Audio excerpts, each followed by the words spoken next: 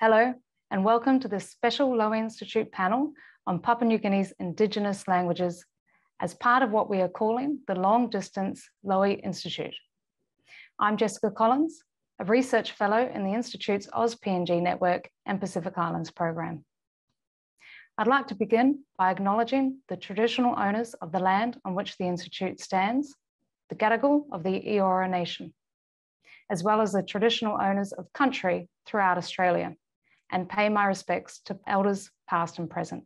2019 was the United Nations Year of Indigenous Languages.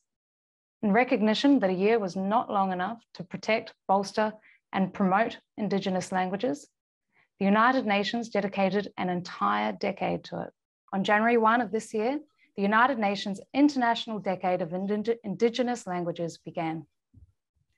There is no country in the world that holds more Indigenous languages than Papua New Guinea. Current estimates of its living languages are between 830 to over 850. That number, though, has been in steady decline since Papua New Guinea's colonisation. But while extinction to local languages remains a severe problem, a new Papua New Guinean language was recently added to the list. Today, we are going to talk about and unpack how a language came to be added to Papua New Guinea's list of document, documented languages. But first, we'll discuss the significance of Indigenous languages for Papua New Guinea's cultural diversity and identity. And I'm pleased to introduce the panel joining me today to discuss these issues. First up, we have Dr. Kilala Devette-Chee, Senior Research Fellow and Program Leader from the Papua New Guinea National Research Institute.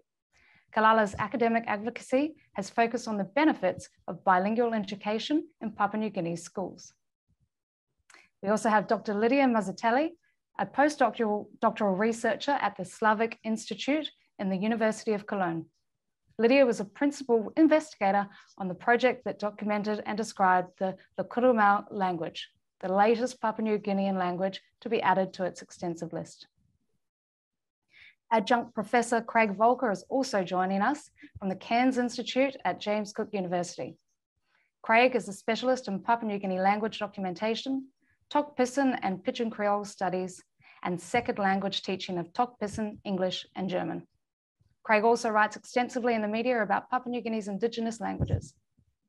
And finally, we have Dr. Sakarepe Kamene, Head of Linguistics and Modern Languages at the University of Papua New Guinea who has also publicly advocated for the preservation of Papua New Guinea's languages and the challenges of language preservation for this country. We have a lot to cover today, so let's get straight into it. Sakarepe, I'd like to start with you first. Can you tell us about the nature of Indigenous languages in Papua New Guinea? Just how many languages do you think there are across this extensive landscape? Well, that's a question I think we need to do more work on it to find out. Actually, if you get a new one coming out, that suggests that there are many probably are not discovered yet, I think. So the numbers could vary greatly. But at the moment, we have uh, very old numbers that exist, about 800 something, 30 to 850. Many of them are very small in terms of number of speakers, half of them, I think, 450 or 500. Uh, very small. I was looking at uh, late net Otto Nekitel's research book.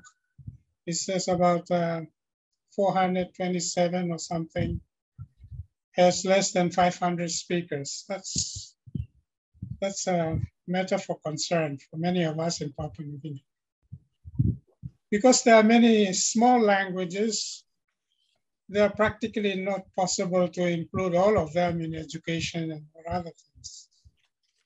And probably that's why many people are looking at larger languages to use in uh, practical sense for education and other purposes. And many other small ones are somewhat neglected.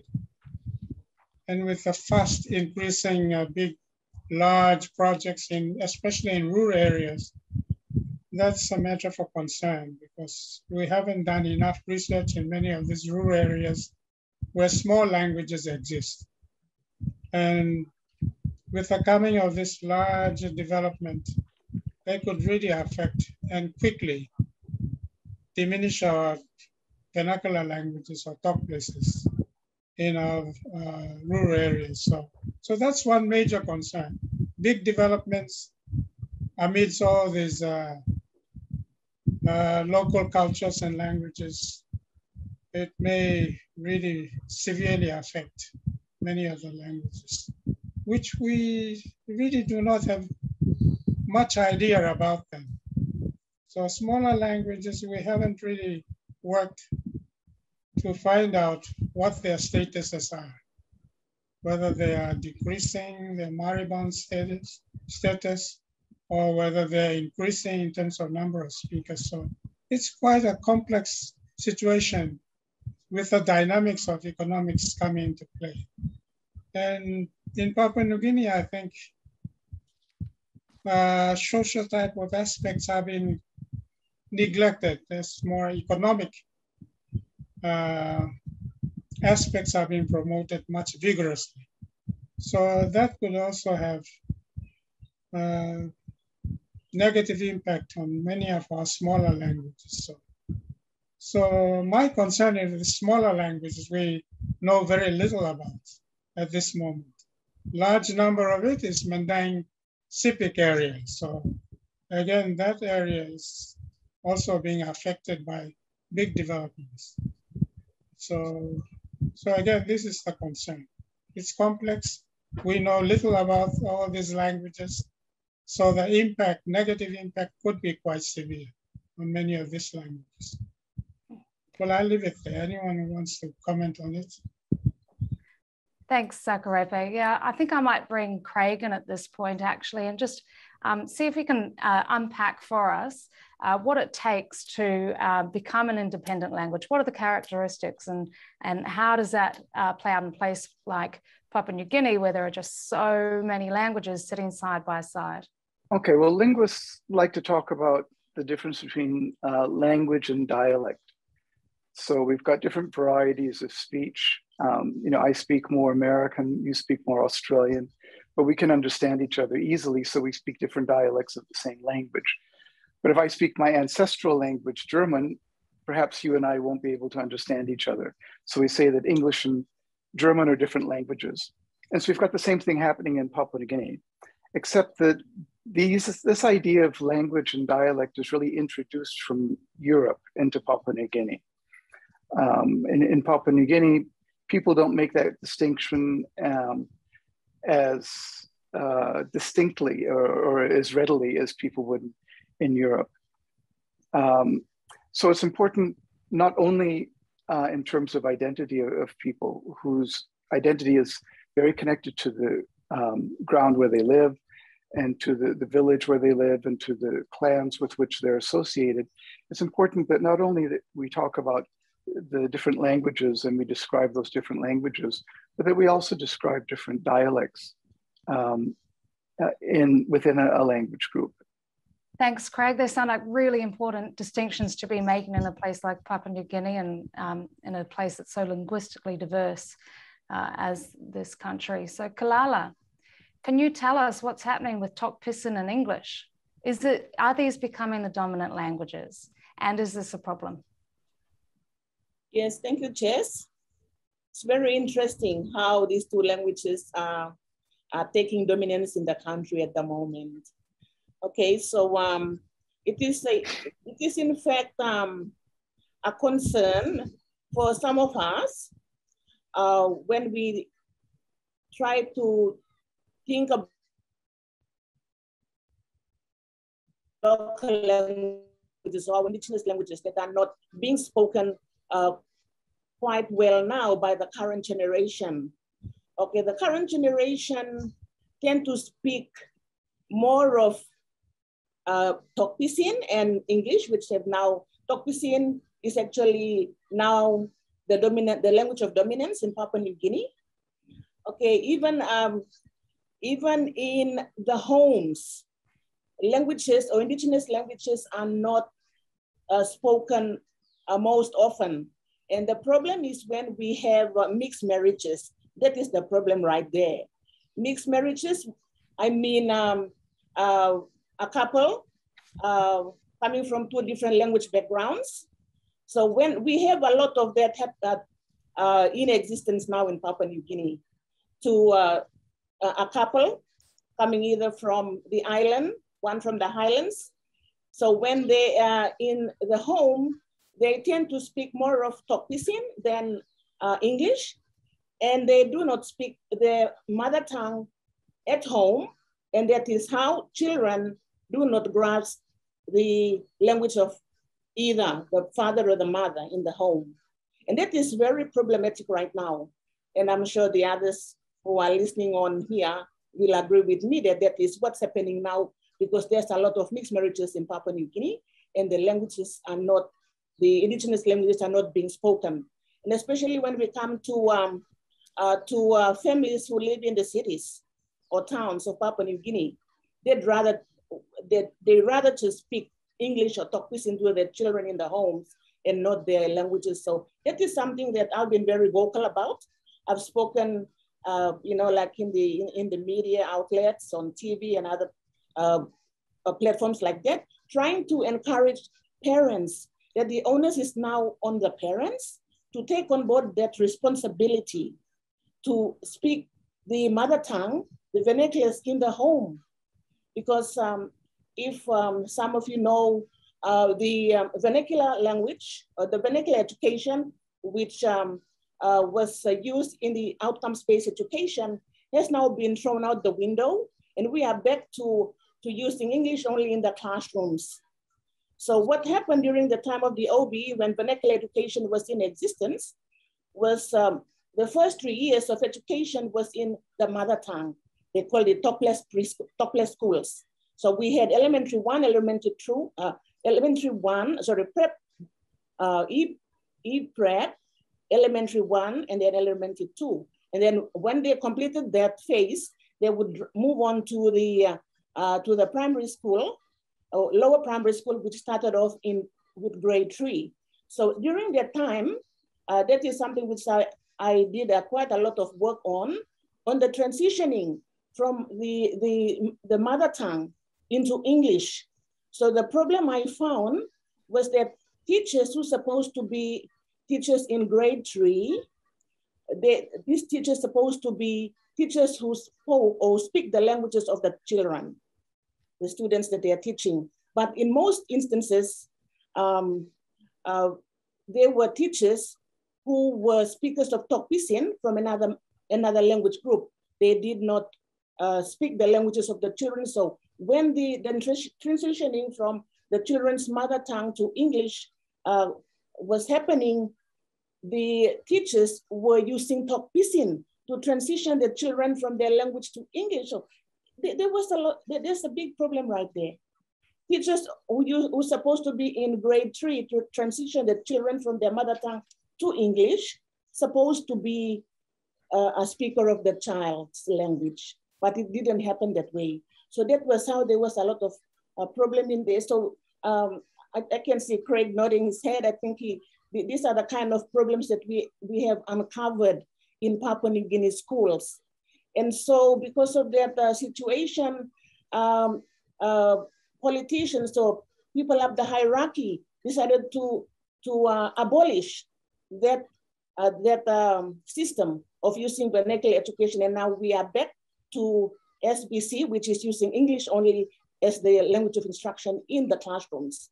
But according to my own research, as um, somebody who is uh, very much interested in uh, like I put all my, my work into bilingual education using the first, the mother tongue as the first language for a child in his or her education um, journey, using the mother tongue is the way to go. But what I found in my research was that it was not implemented, although it is a very brilliant theory, bilingual education or uh, teaching a, a child in his or her first language, that did not happen simply because of the implementation part of it. The implementation was not correct. And one of the reasons was just what I gave. And there are other issues that, other factors that were also involved in this. So it's said to say that um, the vernacular education using mother tongue in the PNG education system has now been thrown out the window. It's been abolished and it's now back to English only. So that is, it is quite a big problem at the moment when it comes to language education. And so my, my take on this is that um, when I've been uh, interviewed and been asked by reporters, I've always taken back my view that uh, even if we do not use bilingual education anymore, maybe uh, use, um, uh, still teach the language just like teaching Bahasa Indonesia or piece, uh, what's this, uh, Japanese or Mandarin, uh, teach the language as a subject in the classroom. Uh, uh, I mean, these are just my ideas or my views because it is, it is really problematic. And if we have to preserve and maintain the PNG languages, how do we do that? So the other only option apart from uh, uh, reintroducing it in the classrooms is back to the parents. I have always been uh, telling parents or advocating for parents that parents need to speak to their children in their mother tongue or what we call in PNG Tokples. The vernacular that needs to be spoken in the home. So at least the children can appreciate their own language because language goes together with the identity that all these need to be appreciated. But that is not happening at the moment. So that is why I've been uh, drumming it into parents, even like people I, I have discussions with, we need to speak the language, our mother tongue to our children. And it, especially the problem is with educated parents. Educated parents don't have time to speak their, their language to their, their, their children. It is always talk in or English. Maybe I will stop there. You can come back to me later and let me give an opportunity to others to talk. There's a lot to talk about. Thank you, Jess. Could, could I just break in there? Um, I think what, what uh, Kilala has said is very important about parents. And I think one of the problems is that parents don't know how, uh, in, in mixed marriages, how to use both languages within a family. And for that reason, they use Tokpisin or with educated families, they use English. And uh, I think the media in Papua New Guinea fail us because they don't give enough opportunity to people like Kilala to explain to parents through radio or TV or newspapers um, how families can use different languages within um, a family.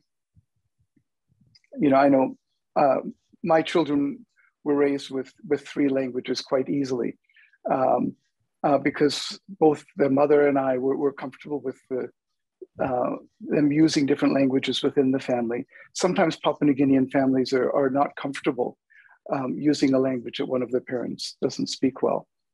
Um, and so people like Kilala can explain to families how to do that would be really useful.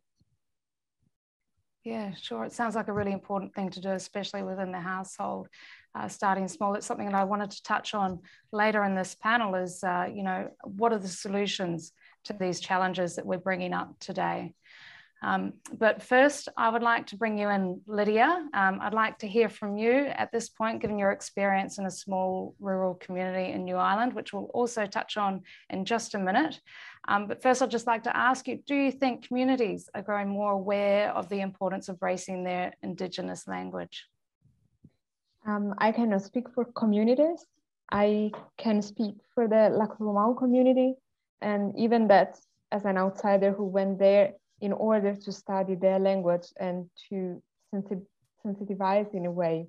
So my, I think my point of view is a bit biased, uh, but what can I say is that the whole community really responded very enthusiastically to me being there and documenting their language. They felt really proud because the neighboring communities already had. Uh, Craig documented Nalik, which is the language uh, just on the south of Lakurumau, the language Kara, which is north, has also been documented, has a Bible translation. So the people in La Lakurumau felt a little bit left out and they were really happy to have the language documented. Um, there, there are some language activists. Uh, sadly, some of them have passed away. Uh, but uh, there are people definitely in the community who feel that the language is threatened. And literally everyone, when asked directly, would say, yes, it's a shame that some of our children speak better Tokpisin than Lakurumau. Everyone is mm, I would say, is aware of the importance of passing on the language, yes. Whether this then um, becomes practice, really goes into the practice of then transmitting this language that you feel it's so important, there the answer is yes and no. In some families, yes. And in some families, especially mixed families, also a couple of monolingual families, um, it is it is not, but not not because the people think that it's not important. That I have never met this point of view. Yeah, we don't care. Uh, it's because they don't know how to do. Because uh, many children speak Tokpisin at school, then they use Tokpisin slash English, and you can often see people of let's say 30, 40 years of age speaking with each other in the local language. And then when they address the children, then they switch to, to Tokpisin. So the answer that I can give from my outsider perspective is that, yes, definitely people uh, are sensitive to the topic. Um, they have also become more sensitive in the last years that uh, outsiders, unfortunately, mostly have come to the region to document the language, and that also makes them proud. Uh, but there is a problem in the transmission. Uh, absolutely not in devaluing the language, but what Kilala and Craig said, that many people, I think, lack the instruments, lack the basic education just for learning how to speak to your kids and in general to keep the language alive in the community, though they try. I cannot say that they don't. Yeah. Thanks, Lidia.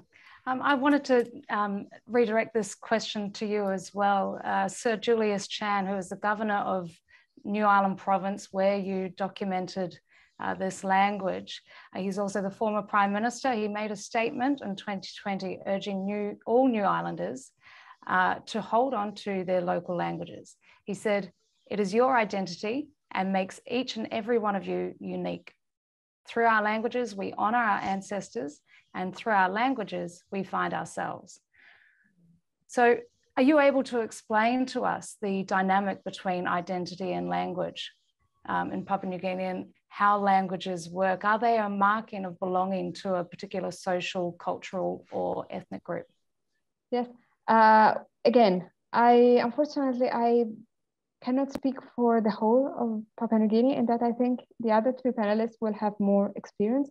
I can speak for what I saw in La Lakrumau, and there, um, let's say, La Lakrumau is a highly multilingual society. People there, everyone speaks Tokpisin. Some speak also good English, especially those who went to school during colonial Australian rule because they learned very well English at school. Uh, but, but even now, I mean, some of them really speak good English. Then they speak Lakrumau, and they also speak the Kara and Nalik, which are the neighboring languages. So the society is multilingual. And the answer to how language relates to identity, I think it's not black or white. It's not just that your language is your identity. On the one side, yes, and I will come to that in just a second. But also your multilingual multilingualism is your identity. I mean, you are not only defined by the fact that you speak that particular Tokples, the particular language, but also by the fact that you can communicate with other groups in, in other languages, especially in New Ireland where the communities are small and there are other regions of Papua New Guinea like Enga province, which is basically monolingual. So there perhaps there is less of that. In New Ireland, almost everyone is multilingual. But then coming back to Lakrumau, um, Lakrumau has been used by the Lakrumau people as a sort of secret code, and it is still by children who go in boarding schools in the Kara speaking territory because then they can use Lakrumau among themselves to communicate and to keep secrets from the other children. It is not that the language are totally un unintelligible. You can understand the Kara speaker with Lakrumau if you put attention to it. But the Lakrumau people also speak Kara. The Kara people do not speak Lakrumau because Lakrumau is a very small language. It's spoken only one village. So they can use it as a secret code. And they do acknowledge the common origin of Kara Nalik, um, Lakrumau, Tigak, and um, Lavongai people. This is spoken in the north of New Ireland. They all come from the same ancestral place. They have the same clans, the same traditions. So they acknowledge the common history. but they are really very proud that they have their own language. And when I went there and asked the community whether I could go live with them and document, as I said before, they were really enthusiastic because they felt like mm, we wanted to be recognized. So I would say that the identity of Lakurumau people, yes, it is shaped by the fact that they do speak this. They are Lakurumau speakers. Uh, they also say that they come from Lakurumau, even if they don't speak that well the language, but still they would say that they speak it. This, this is a, a huge chapter that I don't know if we do have the time to dwell in, but anyway, they do have a passive knowledge and still that defines them as Lakurumau people. Um, but I would also say that multilingualism is also a part of identity of being in this large New Ireland region. Uh, I don't know much about the other regions of Papua New Guinea, so perhaps someone else can speak better than me. Uh, but that's, I would say, represents really well what's the situation in La Lakurumau. Thanks, Lidia. I'm going to bring in Kilala and Sakarepe in just a minute, but um, we've heard Tokples uh, come up uh, quite a few times already in this discussion. So I'd like to bring in Craig here. Craig's written about Tokples. If you could just talk us through that concept, please. Okay. Uh, Tokples uh, is a Tokpisin word, and it comes from English. Tok means language, and place means your home. So it's the, the language of your home. Um, and as in Australia with indigenous people, um, Papua New Guineans are very closely tied to the land where their ancestors have been living for a very long time. Uh, so your Tokples uh, is a reflection of your relationship with your land and with your home and with the people who live in your land. Um, and as Lidia said for Lakurumau people, I think everywhere in Papua New Guinea, when you're walking down the street and you hear somebody uh, in town speaking your language, you turn around, you look, you feel a little happy that uh, you've got somebody who's connected with you. In, in Papua New Guinea, uh, people use the word wantok, which means people who speak the same language. And this is uh, a word like mate in Australia. It's uh, your friend, uh, somebody whom you can trust, somebody whose behavior is predictable, uh, is somebody who speaks the same language that you speak. Thanks, Craig. I'd like to um, bring in Kilala now and hear about your experience with Tokples and, and uh, perhaps your reflections on uh, Sir Governor Chan's uh, phrase about, uh, statement about um, uh, uh, language linking to ancestors. Mm -hmm. Thank you, Jess. Yes, um, with regards to that, um, I would say that um, uh, I'm a Kuanua speaker to start off with. Kuanua is the, the, the language of the Tolai people. I'm a Tolai and I'm from, from East New Britain, uh, New Britain Island, but on East New Britain. So I speak Kuanua. Kuanua is the, the Tolai language, uh, the language of the Tolais. So um, when it comes to um, trying to uh, relate the language I speak back to our, to our ancestors, um, it is um, it, it is actually a challenging question that you know, like you, you asked me to say something to say give my view on this. Because as a as a speaker of the of um, Nakuan was speaker, uh, we speak the language, but who in their right frame of mind would think that we are, you know, like uh, we think about our ancestors. They did, you know, like you you you do this uh, unconsciously. You don't you don't realize that you are you are speaking a language which has been passed on from generation to generation. Uh, you know, like going back to our uh, our ancestors. So I think what I'm trying to say here is um, it is interesting how our languages have been passed on from generation to generation. It has never been, um, I mean, this is um, uh, okay, the, the, the Tolai language, the Kuno language has, has been uh, documented. I mean, it, it's, it's written. We have Bibles, a Bible that is written in Kuanua. We have our hymn book in Kuanua. So even, uh, I must say that the languages, uh, the neighboring languages, or like, uh, like Nakana in West New Britain, even some in New Ireland in the Matanai, when their languages were not documented yet, or like you, the Bible or the hymn books were not written in their languages yet, uh, they used Kuanua in, in, in, in church because Kuanua, my language, was already written before, way back. I'm not too sure when exactly it was written. But because of that, neighboring um, languages who had not had their languages written used the Kuanua language for, for church services, for, for, for the hymns, and for, for the Bible, reading, you know, Bible, uh, the word of God in, in, in the Bible was done in Kuanua. So um, uh, my take on that is that um, uh, for, for my language, and unlike other smaller language in, uh, in Papua New Guinea, I'm lucky to say that my, my language was documented long time ago. But it's not that I'm not proud, proud that uh, it was documented. I am sad actually, because the, the, the current generation have deviated from the original uh, Kuanua language. Uh, a lot of code switching has actually hampered the actual Kuanua language. So code switching, Tok Pisin and English in the, in the Kuanua language, into the Kuanua language, is actually kind of, um, uh, what, how can I say that? Um, the language is now uh, not purely Kuanua these days. I just returned from my home in Kokopo in the village, uh, like two, two, three weeks ago, and I was actually surprised to hear the way the younger generation speak the language. They do not speak Kuanua all the time now. When they speak Kuanua, there must be Tok Pisin in there.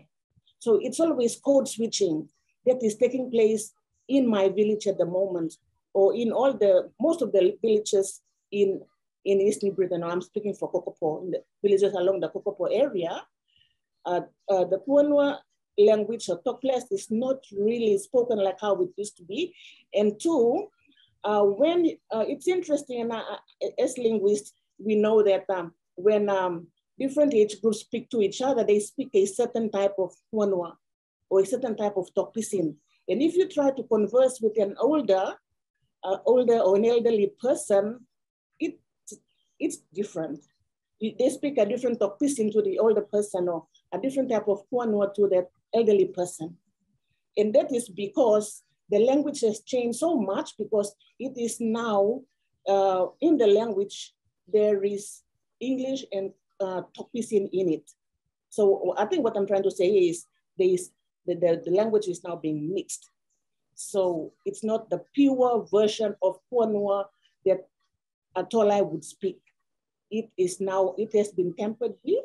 So the language has now changed from uh, pure Kuanua to a Kuanua, which I'm not, you know, we need to give a description to the current type of Kuanua that is being spoken today. So the language is changing. And as we know, language are never static. Language change all the time. And that is what's happening to my language. And I believe that is what's happening to a lot of Papua New Guinean languages today.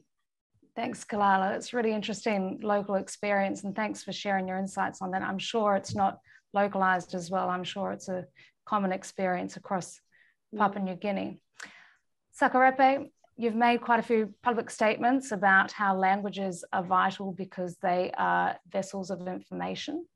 I'd really love to hear more about this. Um, paraphrase your words, you said if a language becomes extinct, all sorts of information will be buried with that language. So can you just talk about this perspective for us, please?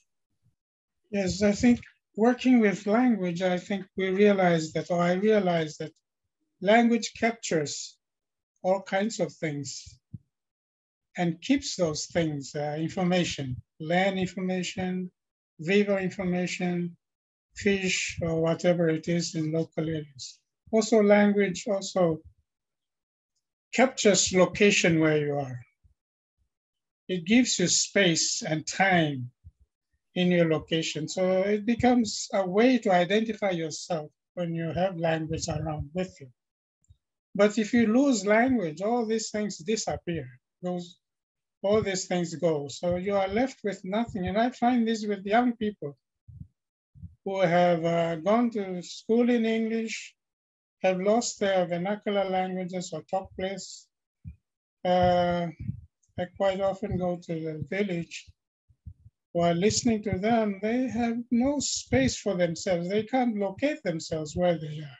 And that's becoming a problem in terms of identify themselves in a modern Papua to have a real strong footing to say whether or not they are educated person, modern Papua New Guinea, or whether they are traditional uh, young people, it's becoming hard in terms of this, making distinctions uh, using identity, place, using place to make distinctions. So that's one of my concerns. One of my experience, my personal experience in 1978, uh, 1970, 1989, I was uh, doing a research on traditional uh, transaction of properties. And uh, there was a dance that was going to be transacted to another tribe. So I was recording all those things and they said, they told me to re-enter our society, the Zia society, which is my society, you got to know Zia to re-enter. That is the point of entry. That's your identity that you must use. That's a label you must use to enter. So they, they told me, take off all your clothes, you know, and get into traditional clothes. And then they said, we are giving you a topic on transaction of this particular dance. And you're going to say the story all in the Zia language, not in Tok Pisin, no mixing, not in English. And that was a challenge, I thought, you know. I was thinking all the time that I'm a Zia person, so I know everything about it, but they challenge. This is where they think your position becomes important, their position becomes important. And that's where they locate their identity. And if you are not, if you're not there, you are losing it and people are concerned. Once they're concerned about loss of identity, loss of your Tokples, loss of your history, it becomes a serious problem for us in Papua New Guinea. As Lidia was saying, we come from a lingual society also, so you know extensively about other societies if you know their language neighboring societies, neighboring communities. If you know their language, you know quite a bit about uh, these neighboring people, their river systems, their land systems, their marriage systems. So again, that, that knowledge captured as a multilingual person becomes a, a larger kind of say global in inverted commas, global ideas, global knowledge for you to operate in a much wider sense if you're multilingual in that local community. So place gives you somewhat restricted kind of way of operating, but if you become multilingual, it opens up with global way of looking at things, even in that particular area where your neighbors are. So, so we haven't really worked on these many aspects of multilingualism, bilingualism, to really open up what these ideas capture and maintain for us to learn more about the situations we have, especially in Papua New Guinea. Yeah. Thanks so much, Sakarepe. I absolutely love that story. It really is a brilliant vignette to the uh, complex dynamic between identity and language. We're going to move on now to hearing the stories about documentation. So I'd love to hear from Lidia first about her experience in documenting the language of Lakurumau and uh, just exactly what that entailed. Yes, um, the story actually began in Europe when I first met Craig. He came to teach a Tok Pisin course at the University of Bremen in Germany, where I was working at the time. And I always had the desire to work to do field work, to work with a yet undocumented language, because so far I had always worked with already documented languages in Europe. And uh, then Craig offered me to organize uh, a stay in the Nalik speaking village where he had um, near to the village where he had been working. I went there, and by the way, to catch on what Sakarepe just said, I um, I there I studied um, the vocabulary related to landscape. So how the Nalik language conceptualizes the landscape. They have different words for different parts of the reef that are not found in English, for instance. So they have their own view of the landscape, something that if the language disappears, also disappears, this, this link to, to, to, to the land, so to say. Well, uh, when I was there, I, I came to Papua New Guinea for two weeks. And during this time, I made a couple of trips to the village of Lakurumau, where Craig had told me that uh, a language was spoken which had traditionally been considered dialect of Nalik or of Kara. And I just wanted to ascertain how deviant it was from these two languages. So I basically went there, I asked people to cooperate with me just on one day trip, tell me some basic sentences and some basic words. I compare them to Nalik and Kara. Yes, they are similar, but they are different enough to be a different language. We could say it's like Dutch, Frisian, and German, for instance, or English, Frisian, and, and Dutch. They are all related, but still different languages. Uh, so then I made an application to get a grant. I got it, and I came back to Papua New Guinea for several periods of extended time. I was once three months, four months, and then two months. Uh, during this time, my work consisted of making recordings of people talking in the language. First, I started with simple narratives like my life. What did I plant yesterday in the garden? Uh, I tell you about my family. And then with Mrs. Daina Guruman and other who um, unfortunately passed away last year, and other uh, people from Lakurumau who speak very well Lakurumau and as well as English, we sat down and transcribed word per word. So I had a recording on my computer. I put it in a documentation software called Elan. Uh, I segmented into chunks, like I am going, which at, at first, of course, I didn't understand. I learned the language while documenting it. And then I would ask to my consultant, the person who was working with me in that moment, like usually it was uh, Mrs. Gurumang, can you please transcribe exactly word per word what they said? Then the unity of word, it's also difficult to define in a language that so far has never been written. Luckily, I had Craig's grammar for Nalik and a grammar for Kara. The languages are similar, so I already had an idea. And, uh, and then I translated, and very likely, uh, luckily, Mrs. Gurman speaks perfect English, also other people, so I could get the meaning in English, and then I would ask. Not always the meaning is one-to-one. -one. There were some words that she didn't know exactly how to translate.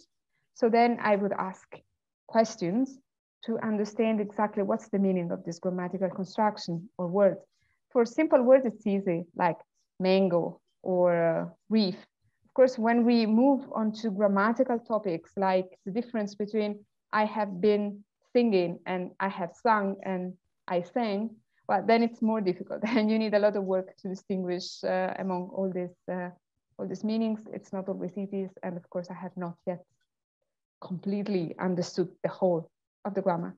But basically, documentation is that to make a lasting record of a language, which is also multi-purpose. It can be used by linguists, it can be used by anthropologists, it can be used by the community to have a recording of their own language to use to teach children. We, and in Lakurumau, I also produced, of, of, I, what I mean, what does it mean I? They produced, I just helped in writing down. We produced uh, some school books for children in the preschool, so before prep, uh, so that they could read in Lakurumau, just a sample of simple stories, words like the alphabet, animals, plants, colors, things like that. Um, so to sum it up, documenting, the, the process is to go there, record the language, transcribe, translate into Pisin or English. I used English because it's easier, or whatever other language you may want, and create a lasting record digitally, um, also on, on paper. If there is the possibility, I did everything digitally because it will be stored forever and ever, hopefully and uh, and then it, as I said, it must be multi-purpose in that that I try to record different kinds of text genres, narratives, my life, my family, traditional narratives, but also conversations and procedurals um, like instructions. For instance, how to bake uh, a sago cake. Uh, first, you take the leaves, then you do that and that. Why? First, because it, it gives us very interesting information about the culture of the community who speaks the language, but also for us linguists, because um, when we only analyze narrative language, it is something different than the language that then you use in conversations, or you use in giving instructions. You have a lot of new words and new constructions that would never come up if you only record monologues or just people talking about their lives. So I try to vary as much as possible so that the people who will, I hope, the community first, but also other linguists or everyone else who is interested, who will then have my collection in their hands, uh, will have uh, as complete as possible glance onto the language and the culture that it represents.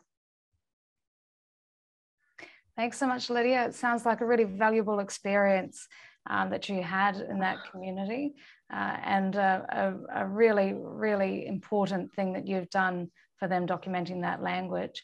We have just a little bit of time left before we move on to talking about uh, preservation of these languages and what can be done next. But first, I'd just like to hear from Craig about his experience in writing uh, or documenting the Nalik language um, and uh, exactly how the Nalik language interacts with the Lakurumau language as well. Um, yes, as Lidia says, Nalik and, and came from the same ancestor language. So they're very similar languages. And I'd been living in um, the Nalik area for quite a long time before uh, we had the idea that Lidia would come and work with the Lakurumau language. I don't know if I've told Lidia this, but I was scolded by the elders in Lakurumau village when I came and, and said, there's this lady coming from Italy and she wants to um, document your language. And they said, you were supposed to be doing this a long time ago. Now you go away and you bring this lady in because she's more enthusiastic than you are.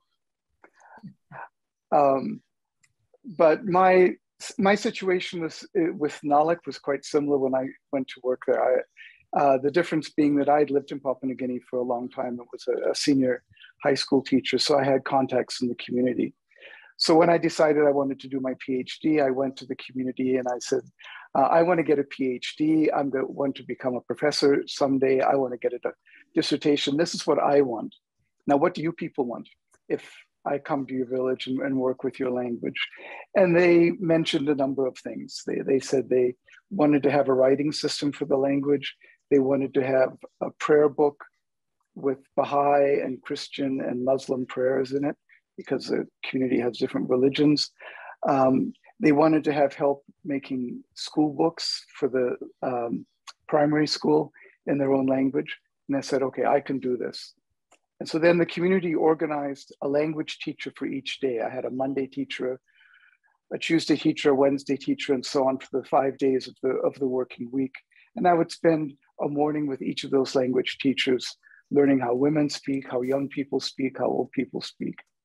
And in the same way that Lidia worked with uh, Lakurumau, I, I learned Nalik language and um, uh, documented it. And if I'd just like to point out what one of my teachers said, um, his name was Michael Ahomarang. Uh, he was a, a, poet in the, the Nalik, uh, Nalik language and uh, composed a, a, lot of songs.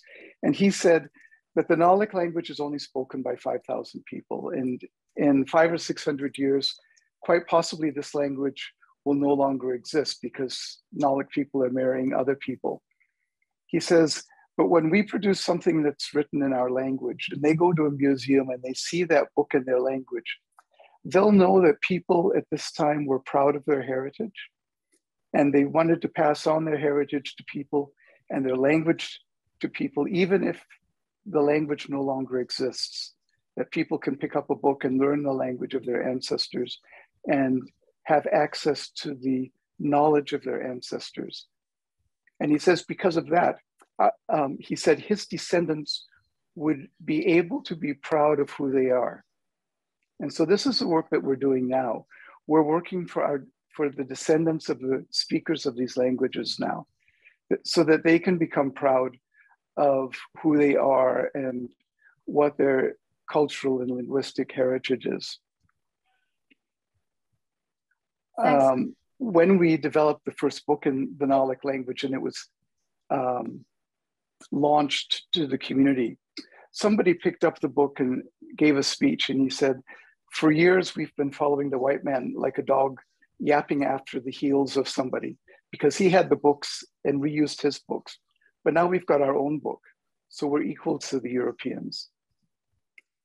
And I think this is also a very important thing that we, through documenting the language, through writing language down, through um, writing down uh, indigenous knowledge, we put them on the same level as languages of cultures who think they're very important and uh, allows this knowledge to be shared with people elsewhere in the world. Thanks, Craig. This is, I'm really glad that you brought this up. It's a nice segue into our, our final discussion about the, um, the extinction of languages in Papua New Guinea and uh, what can be done about it. Uh, Sakarepe, I'd like to start with you. Um, you've talked about before about the importance of language institutions. Uh, if you could just um, expand on that for us, please, and also um, just share with us uh, briefly about the different stages of extinction that uh, that um, the communities are experiencing at the moment. Yes, I'm trying to find out ways to uh, save language, and uh, one of the ways that uh, I think is important is to establish some kind of structure, basically to look after our uh, many languages that we have. And that can probably be easily done by creating a language institute of some sort in Papua New Guinea so that that institute can generate probably research on uh, vernacular Tokples languages on many of our languages. At the moment, uh, language research here is haphazard, not controlled we don't know who is getting what kind of information, and probably a structure like language, Papua New Guinea Language Institute might be the way to get people, task people to do particular research, and we have information with us and kept in that kind of institute.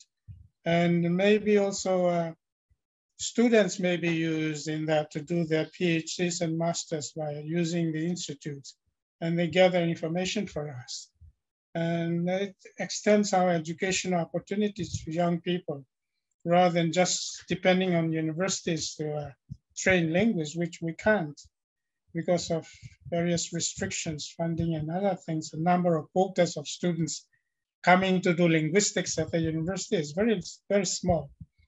So maybe finding another way, an institute, which might give us a better idea, a better chance.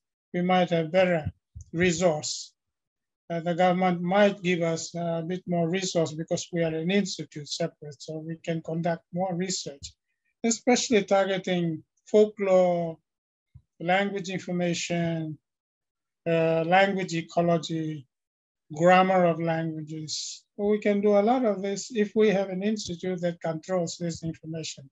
And most of the information we have may be kept in this institution for our younger generations and for other linguists for other researchers and so on. So, so that's the kind of background I have in terms of talking about uh, promoting the idea of institute, language institute in PNG.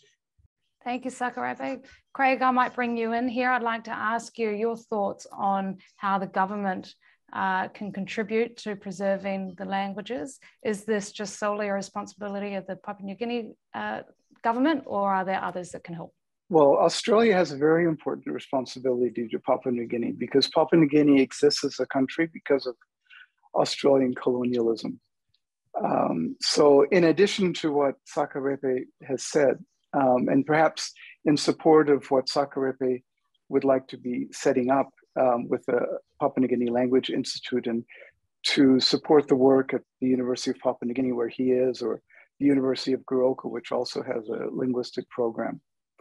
I'd like to see the Australian government uh, specifically give uh, scholarships to young Papua New Guineans to do their master's degrees and PhDs in Australia, uh, in linguistics because Australia has very good linguistics programs. They're also very expensive linguistics programs. Uh, and in the overall scheme of Australian aid to Papua New Guinea, this would be a very small amount. And it would uh, help to develop a core of Papua New Guinean linguists like Sakarepe and like Kilala, uh, who are trained not only to educate people in Papua New Guinea, but also elsewhere in the world. Where Lidia works at the University of Cologne, there's a very good in, uh, department of Papuan languages. And if you go there, you will not see one Melanesian person at all. But if you go to a Chinese language department or a Japanese or German language department, you'll see Germans and Chinese um, and Japanese people. You'll see speakers of those languages. And so I'd like to see Papua New Guineans uh, working with linguistics, not only in Papua New Guinea, but also elsewhere in the world. We had a Brazilian researcher come to New Ireland, Claudio da Silva, and he was working with education. And he made the comment that Papua New Guineans are much more aware uh, with multiculturalism and multilingualism than most people in the world. And this is a gift that Papua New Guineans should be able to share with people elsewhere in the world, like Australia, which sometimes has ethnic tensions or misunderstandings because of language. And so I like to see Papua New Guineans involved much more academically outside of Papua New Guinea, as well as inside Papua New Guinea. Yeah, thanks, Craig. Clearly, education is coming up as a running theme tonight as well. Kilala, I'd like to ask you to talk a little bit more about how uh, education um, can play a role in preserving languages in Papua New Guinea and just how uh, it can be better implemented. You, you talked before about how there are challenges with the implementation at the moment. What can be done to make it better and more successful? according to what I've seen so far, I go around to schools, I mean, in, in the, the time when bilingual education was in existence, I was carrying out the research in very certain schools in the country. So what, like I said previously, like it was not being implemented correctly. And I think that's why you're asking me what could, can be done. So, uh, so one is if, if uh, that was, uh, if we want to make sure that children are continuing to learn and we preserve the languages to our these children. One of my recommendations is to reintroduce the bilingual education system in Papua New Guinea. That's just one alternative. But if it is to be reintroduced back into the PNG's education system, it needs to, the approach needs to be very uh, uh, done in a way that it is actually uh, useful. Uh, just like I said previously, that it wasn't uh, taught correctly. You know, there were no uh, a teacher. It, it, was not always the, the, the teacher who who knows who knew the language of the child. So if it was to be reintroduced, uh, the education, uh, um, what is it? The, the the the authority who deal with teachers' postings must make sure that their teachers are posted to schools where they know the language. So therefore, when they teach the bridging, uh, bridging uh, ER, transitioning in that's year three, which is the bridging ER from um, from a vernacular or Tokples to English, the teacher must be the speaker of the language, who knows the language of the child. So that's one. The other, another, another problem that I found was to do with the um, the, the, the teacher training itself, teachers need to, to be trained uh, in the, um, I think that is, uh, that is another area that needs uh, to be looked at if, if we have, if we try to reintroduce this bilingual uh, education in the country, the, there has to be a component in the teaching tra teacher training curriculum so that teachers are well versed on how to, to teach bilingual education. And I think that was something that was missing in the teacher training a curriculum. So teachers were just like on a ad hoc kind of uh, situation uh, placed in there, but they didn't really know how to deal with uh, children on how to actually teach them the transition period. So that is one. Um, what else? Um, if it's not that, I was suggesting earlier on, if it can be, uh, it can be taught as a, uh, as a subject, just like, uh, uh, you know, one of the other foreign languages. If, if the education department does think that bilingual education is not, uh, it won't work again, then why not uh, teach it as a, subject? So that at least children who have now missed out or like who are now um, who cannot speak the language itself will still learn the language. So um, in fact, what I found in my bilingual education research was that um, the, um, the bridging situation was only done for uh, transitioning into English, but there was no allowance for language um, preservation or continuity into the future. It was merely just to teach English. You see what I'm trying to say? So like there was a component in this uh, whole uh, bilingual transition program. What happened was like there was a certain percentage. Like uh, if, for example, you start off, you, you come in at the transition period, maybe you start off with 90% or like maybe like 10% uh, or 20% English, and 80% vernacular. And then as you go, go up the grade, the, the, the, the, the percentage, uh, you know, like uh, reduces. Uh, so you, you go into the next grade and then maybe it's 60%, 40% vernacular until it's 100% English. I'm, I'm trying to explain something like that. So that is actually what the Department of Education was doing with regards to this bilingual education program in the country. But that was not implemented correctly, simply because teachers need to undergo that specialized training in bilingual education to teach it well. So that is one. So I think I'm suggesting two things there. Either you bring back bilingual education or teach uh, the language as a subject. Thank you all so much for your frank and thoughtful answers today. I really found it so inspirational, and I do hope that our listeners at home will be encouraged to continue on with their local languages in the home. And uh, perhaps for those that don't know another language, like myself, to uh, go out and start learning. Kilala, Sakarepe, Lidia, and Craig. Thanks again. That's all we have time for today. Thank you for your insights and to the audience at home for watching. This has been a special panel for the Lowy Institute's AusPNG network. And I'd like to thank my colleagues, Josh Godin, Andrea Pollard, and Shane McLeod for their assistance in producing this event. You can head to our website to view more of our events and podcasts. Thank you and goodbye.